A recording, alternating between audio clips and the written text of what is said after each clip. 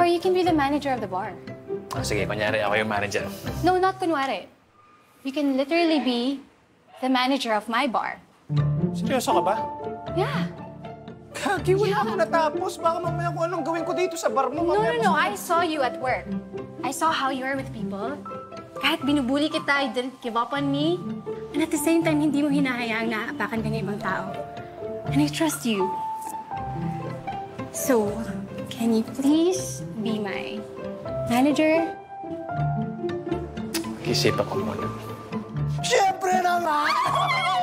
Manager na ako! Manager na ako! Manager na ako! Irene, Hi, uh, malilate na tayo sa last show. oh my God, I forgot.